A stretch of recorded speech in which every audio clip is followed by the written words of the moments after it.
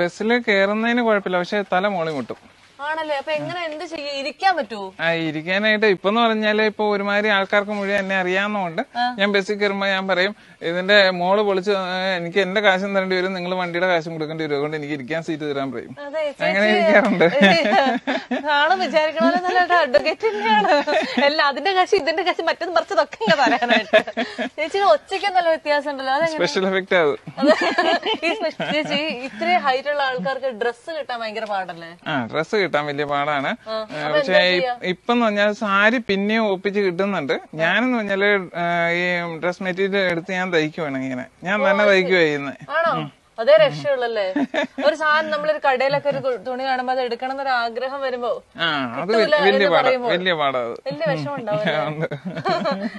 അത്. പ്രത്യേകിച്ച് ചെരുപ്പിന്റെ കാര്യത്തിലായി നിങ്ങളൊക്കെ ഇതുപോലുള്ള ചെരുപ്പിട്ടുണ്ടാക്കുമ്പോ ഞാൻ ഇടുന്ന ചെരുപ്പ് കണ്ടോ? ഒരു രക്ഷയില്ല ദാരിദ്ര്യം ദരിദ്രം എന്ന് പറയുന്ന ചെരുപ്പ്. അല്ല അതെന്ത് ചെയ്ത് കിട്ടൂല കിട്ടൂല ചെരുപ്പ് കിട്ടൂല. ഞാൻ പിന്നെ എന്നാ ചില എന്നാ ചേർത്തലയിൽ ഒരു കടയുണ്ട്. അവിടെ ഉണ്ടാക്കിയോ ചെയ്യണേ? അത് പൊട്ടിപ്പോയി കഴിഞ്ഞാൽ വലിയ പാടാണ് ഇപ്പം. കാരണം ആ പയ്യൻ ഇത്തിരി ആക്സിഡന്റ് പറ്റി അവൻ ഇരിക്കണോണ്ട് ഇപ്പൊ ഉണ്ടാക്കി തരാൻ രക്ഷയില്ല. അതുകൊണ്ട് ഈ ചെരുപ്പിട്ടുകൊണ്ട് നോക്കണേ എന്റെ പൊന്നോ നമ്മൾ മറ്റേ ഹൈറ്റ് കാണുമ്പോ നമ്മൾ ഭയങ്കര അടിപൊളിയാണെന്നൊക്കെ വിചാരിക്കെങ്കിലും അതിന്റെ പുറകിൽ കുറെ ബുദ്ധിമുട്ടുകളുണ്ട്. അതുപോലെ സെപ്പറേറ്റ് സെപ്പറേറ്റ് ഉണ്ടാക്കിയതാണ്. കട്ടിലിനകത്ത് ഇത്തിരി ഉണ്ടാക്കിയതാണ്. എല്ലാം ഇങ്ങനെ എനിക്ക് വേണ്ടി മാത്രം. ചേച്ചി നമുക്ക് സന്തോഷിക്കാം. നമുക്ക് എല്ലാത്തിനും യുണീക്ക് ആയിട്ടുള്ള സാധനങ്ങളുണ്ട്. ചേച്ചിക്ക് മാത്രമുള്ള സാധനങ്ങളുണ്ട്. വേറെ ആർക്കും പറ്റില്ല. ചേച്ചി മാരീഡ് ആണ് ഒരു മോനുണ്ട് ഞങ്ങളിവിടെ കണ്ട്. അതുകൊണ്ട് സേഫ് ആണ്. എന്നാലും കല്യാണം എന്നൊക്കെ പറഞ്ഞ് ആലോചിച്ച് തുടങ്ങിയ സമയത്തൊക്കെ വീട്ടുകാർക്കൊക്കെ ഭയങ്കര ടെൻഷനായിരുന്നു ആ അതുണ്ടായിരുന്നു. പിന്നെയുള്ള വെച്ചാൽ എന്റെ കൂടെ പഠിച്ചവരുടെയൊക്കെ കല്യാണം കല്യാണവും കഴിഞ്ഞ് അവരുടെ പിള്ളേരൊക്കെ കല്യാണം കഴിച്ചു വിടാറായിട്ടുണ്ട്. അപ്പം അല്ല പലരെയും ഞാൻ വൈക്കത്തമ്പലത്തിൽ വെച്ച് കാണുമ്പോൾ എന്നോട് ചോദിക്കും മോൻ എത്രയില്ല ഞാൻ പറഞ്ഞ ആറിൽ. അപ്പൊ അത്ര ആയുള്ളോ ഞാൻ നിങ്ങളോട് ആര് പറഞ്ഞു ചാടിക്കറി കല്യാണം കഴിക്കാന്ന് ചോദിക്കും.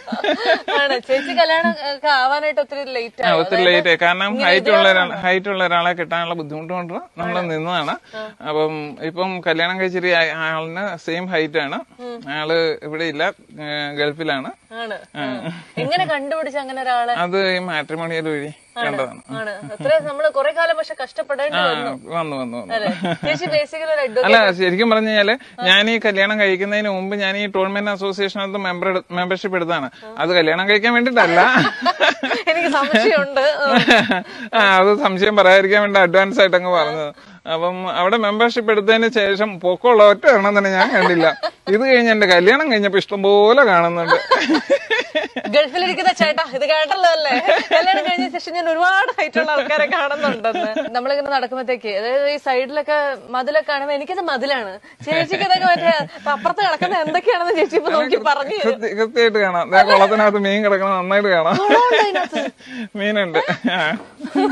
കുളത്തിനകത്ത് മീൻ കിടക്കുന്നതാണോ? കിടക്കണം ചെറുതാ.